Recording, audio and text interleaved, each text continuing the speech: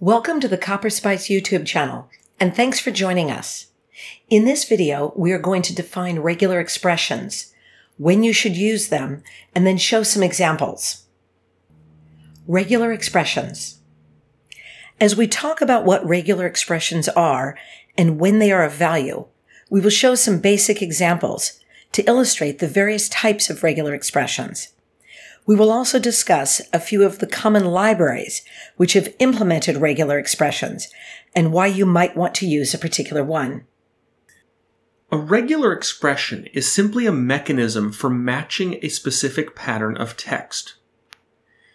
The regular expression language provides a concise and flexible way to identify a particular pattern. Since there is a grammar and a syntax defining how regular expressions are interpreted, they constitute a language.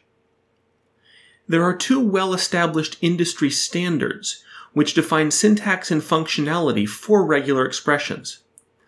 As part of the POSIX standard, a set of regular expression libraries are defined, and there is also the Perl-compatible regular expression syntax. So why are regular expressions of value? Regular expressions are used in lexical analysis, which is the first part of parsing. Another example of where you might use regular expressions is in an editor. Most editors used by programmers have a way to define the syntax highlighting, and this is done using a regular expression. Another example is if you're setting up an email server and you want to blacklist certain sources of email. This is often done with a regular expression.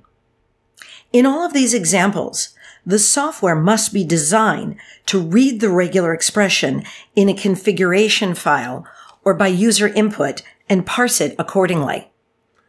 Another common place where you might use regular expressions as a user is in a text editor, for example, in the search function in your programmer's editor.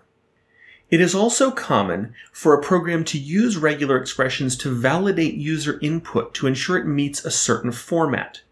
For example, a phone number, a postal code, or a date. These all have well-defined formats that they need to be in in order to be valid. It is not advisable to use a regular expression in some cases.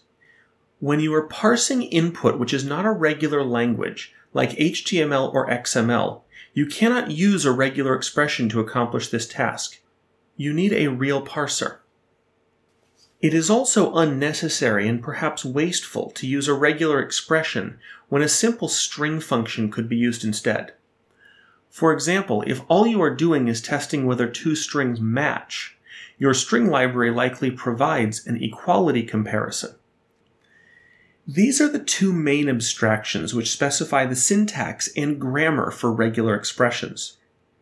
Most implementations will be based on one of these two standards, but there is no requirement that a particular regular expression engine implement the standard in full.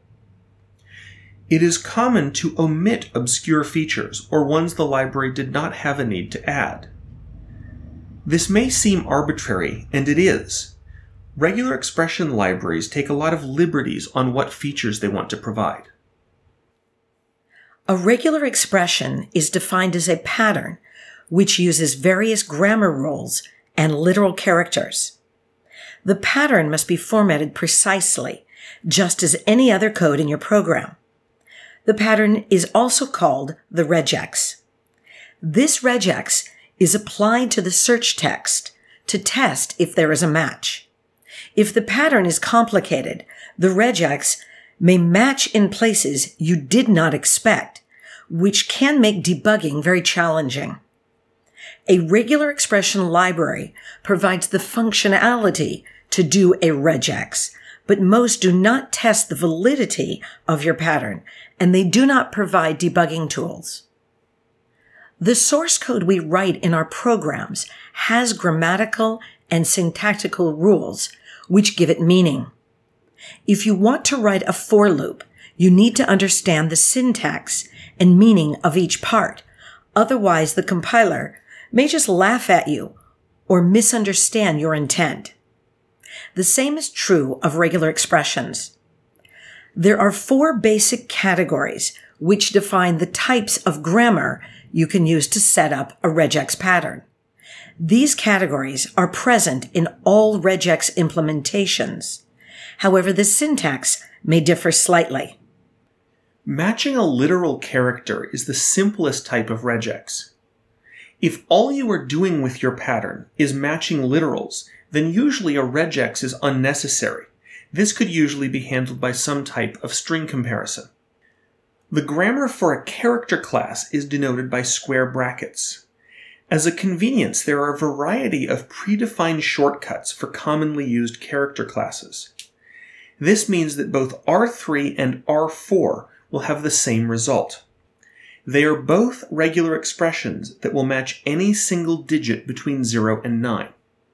Example 4 can be written in another way using the raw string syntax introduced in C++11. This yields R5. This syntax allows you to use a single backslash rather than doubling each backslash. R6 will match any three-digit number sequence, like 234. R7 is the same pattern as R6, but is easier to read since in the raw string literal extra backslashes are omitted. As your regex gets more complicated, this syntax is very helpful for readability. Quantifiers are another type of grammar category. They allow you to simplify the regex when you are looking for repeated patterns. The star and the plus are very similar. The star matches zero or more times, while the plus matches one or more times. In the R8 example, the question mark will match any string which has zero or one R's. We will match on CA and CAR. With the added star, it will also match any string like cat or CATT with any number of T's. Groups are part of the regular expression grammar, but not associated with the four categories of rules. They are used to identify a section of the regex which can be captured. They are also used to apply a quantifier to the text in the group.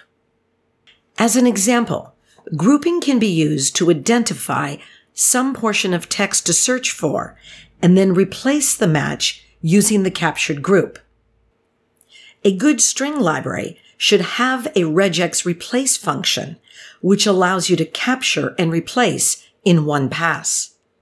In the R9 example, the letters AN form a group, and as a side effect, it will be captured, even though we're not using the capture in this example. The plus quantifier modifies this group to indicate it must match one or more times. Assertions are a type of rule which match at a specific place in the text. The two most common are the caret and the dollar sign.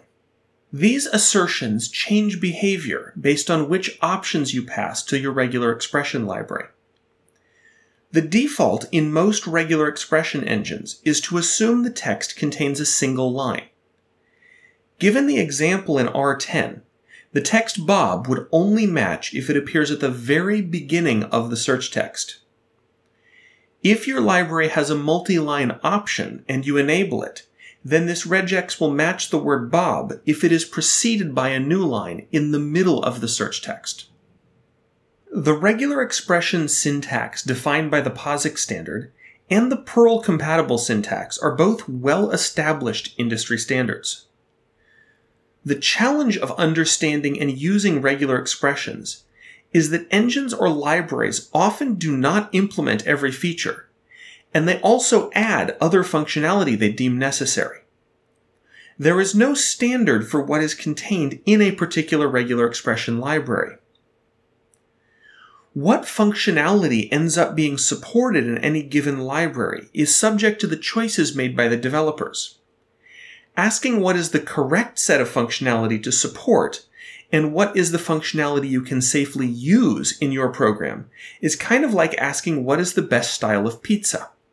There are definite standards for a New York style pizza versus a Chicago style pizza versus an Italian style pizza.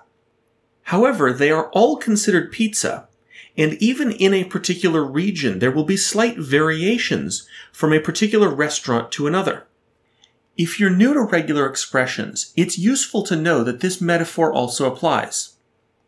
It's not enough simply to read a standard and learn that definition of regular expressions. It's also very important to read the documentation for the specific engine or group of engines you may be using. While there is a certain core set of functionality that most implementations agree on, the details can differ greatly. The implementation of regular expressions is easy to get wrong. You really should be using an existing regex library rather than writing your own from scratch. PCRE is very widely used and adheres closely to the Perl language implementation of regular expressions. Unfortunately, it's a C library and the API is a bit awkward to use with C++. Boost regex has been around for quite some time, and the C++ standard library incorporated a large portion of the Boost regex library nearly verbatim.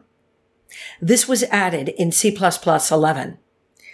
RE2 is a library by Google which omits several of the common regular expression features so it can safely be used with untrusted user input we needed a regular expression library for CopperSpice and chose to base it on Boost regex. It appeared to give us the ability to override the string type.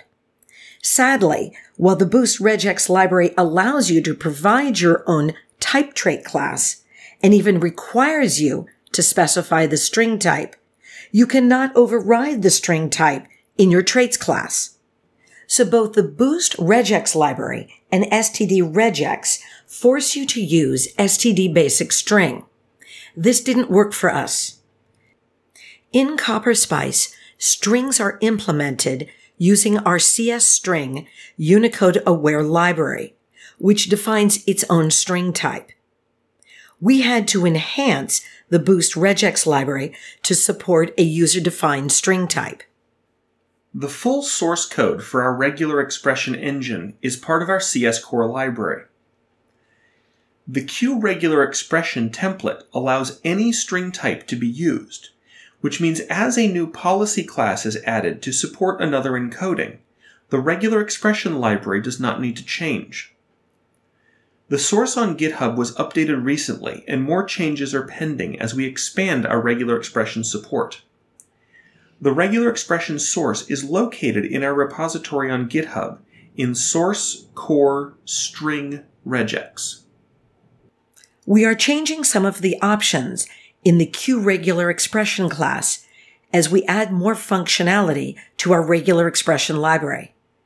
The current documentation for QRegularExpression can be found on our website you may also want to read the documentation for QString8, which has several methods which take a regex as a pass parameter. For more information about QRegularExpression, as well as any of our other libraries, please visit our website at www.copperspice.com. Thanks for watching. We hope you found the content of value. If you have any questions or feedback, feel free to leave a comment on this video or send us an email. Please make sure you subscribe to our YouTube channel and come back in two weeks for our next video.